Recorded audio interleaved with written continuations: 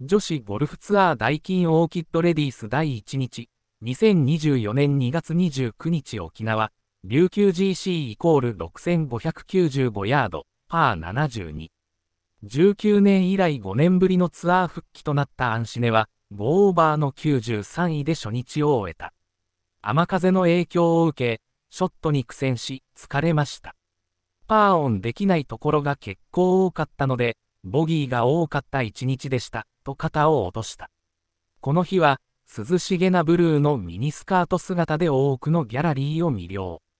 ミスしたところを修正しながら、今日よりいいスコアで回れるようにしたい、と巻き返しを誓った。